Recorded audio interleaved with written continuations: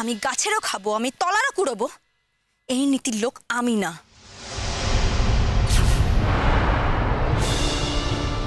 কি বলতে চাও তুমি? তার ব্যাখ্যা দেওয়ার কোনো প্রয়োজন নেই। এখানে আপনার ছোট ভাই আছে আপনার বন্ধু আছে তাদের সামনে আমি আপনাকে ছোট করতে চাই না। যদিও অনেক ছোট আপনি অলরেডি হয়ে গেছে কেন এই নাটকটা করলেন আপনি? এই নাটকটা করার কি প্রয়োজন ছিল? কেন আপনি আমাকে এত দূর টেনে আনলেন? কি ভেবেছেন? আমি একটা হ্যাংলা। আমাকে আপনি আসতে বলবেন, আমাকে আপনি ডাকবেন, আর আমি ছুটে ছুটে চলে আসব আপনার সঙ্গে? আমার সমস্ত ক্লাস কামাই করে আমার আপনার সঙ্গে আসার কোনো ইচ্ছে ছিল না। আমি এসেছি বাধ্য হয়ে কর্তব্যের খাতিরে, কৃতজ্ঞতার খাতিরে। আপনি আমার জন্য অনেক কিছু করেছেন। আপনি আমাকে আশ্রয় দিয়েছেন। সেই জন্য ভেবেছি আমি যদি আপনার কালিকদের সামনে আপনার বউ হয়ে আসতে পারি, তাতে আপনার হয়তো কিছু লাভ হবে। আমি তো জানতাম না আপনি এত বড় মিথ্যেবাদী। আপনি এতটা মিথ্যেতে ভরা। যদি জানতাম তাহলে আমি কোনোদিনও একা আসতাম না আপনার সাথে বেড়াতে। এখানে কি দেখছি আমি? আমাদের মিথ্যে বিয়ের হ্যাপি করার জন্য আপনি এখানে এসেছেন?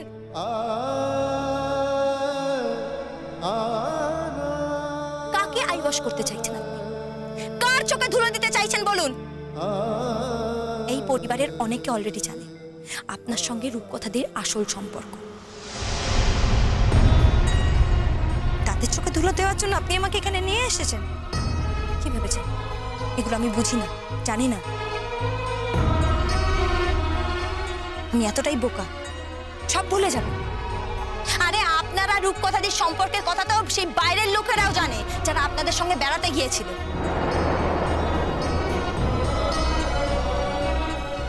কি? মনে পড়ছে? রাস্তায় দাঁড়িয়ে তারা কি কি বলেছিল, সেগুলো এখন আমার কানে বাজে। আপনি কিন্তু তার একটা কথাও কাউন্টার করতে পারেননি, চুপচাপ মেনে নিয়েছিলেন। মেনে নেননি? আর সেই কথাগুলো যদি সত্যি হয়, তাহলে তো আমাকে এটাই বলতে হবে। আপনি একসঙ্গে দুটো মেয়েকেই অসম্মান করছেন। দুটো মেয়েকেই অপমান করছেন। ইমন! বাস। এনাফ ইজ এনাফ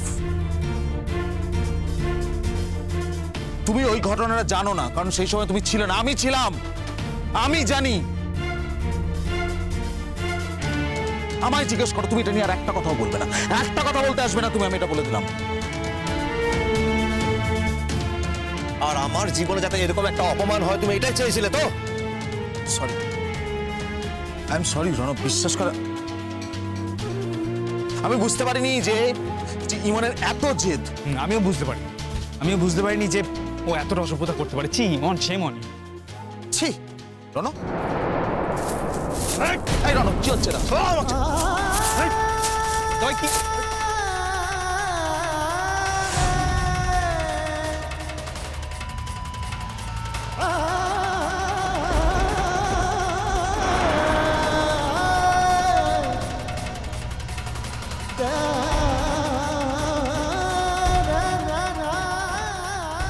আর ভবিষ্যতে এসব ফালতু ব্যাপারের মধ্যে যদি আমাকে জড়াও কখনো, তোমার সঙ্গে আমার সম্পর্ক সেদিনই শেষ হয়ে যাবে অনিলা মনে ভুল হয়েছিল আমার, তোমাকে এখানে নিয়ে এসে।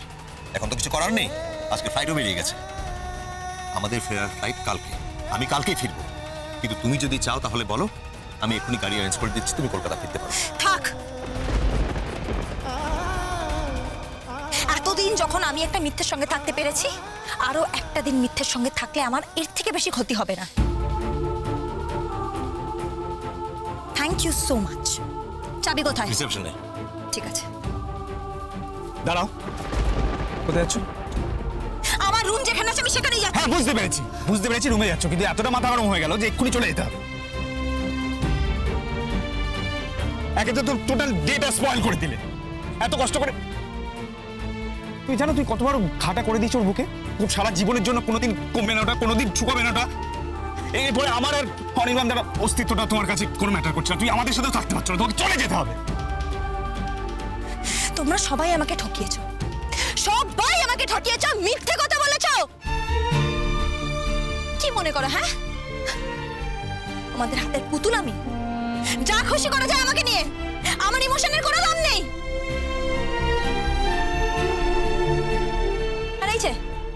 তোমার দাদা ভাইয়ের ঘা শুকোবে না। এটা শুনে রাখো টুকলুদা আজকের দিনে আমি যা খা পেয়েছি, সেই খাটা কোনো দিনও শুকোবে না কোনো দিনও না সম্পর্ক। সম্পর্ক একটা মিথ্যে সম্পর্ক, যে সম্পর্কটা কোনোদিনও সত্যিই হয়নি, সেই সম্পর্কটাকে সেলিব্রেট করা যায় একটা মেয়ের কাছে কতটা অপমানের, সেটা তোমরা কেউ বুঝবে না।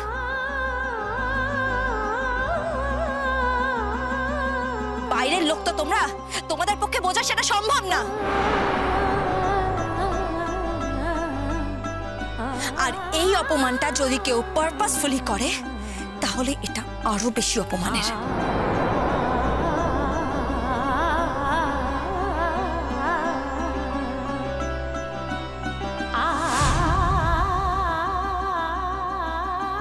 ইমন ইমন!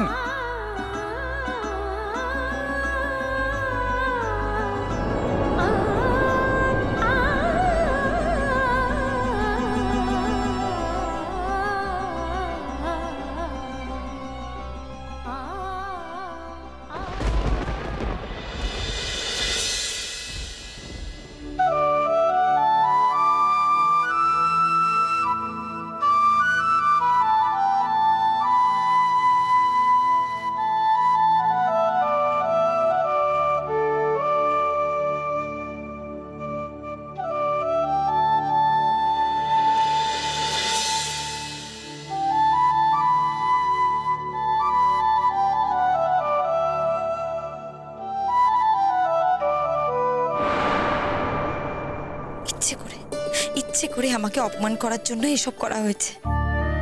আমাকে কি ম্যারেজ অ্যানিভার্সারি করে ভোলানোর চেষ্টা করা হচ্ছে? কেন এত বড় অপমান করলেন আপনি আমাকে? আমি আপনার কি করেছিলাম?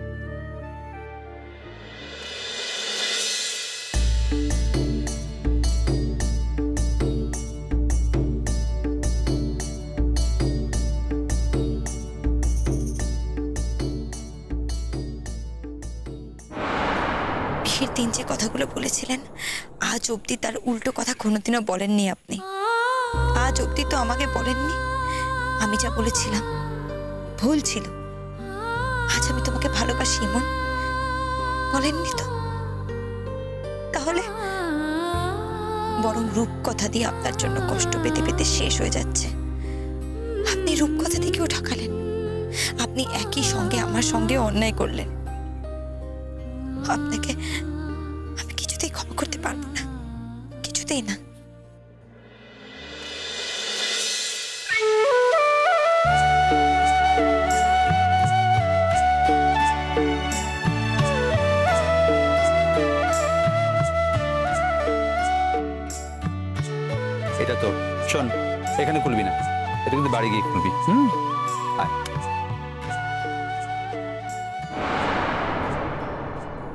বিয়ের সময় হাজার বার বারণ করা সত্ত্বেও আপনি আমাকে বিয়ে করেছিলেন।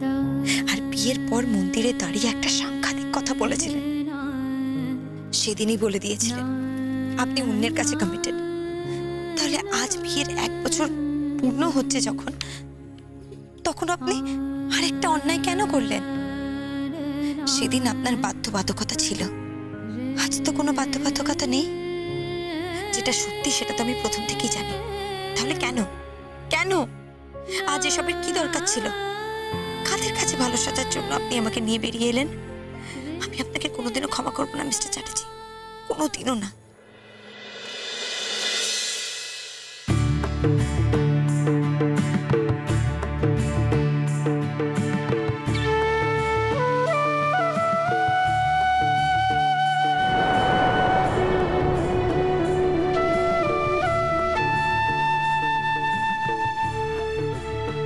কাল কিন্তু সবাইকে দেখতে চাই।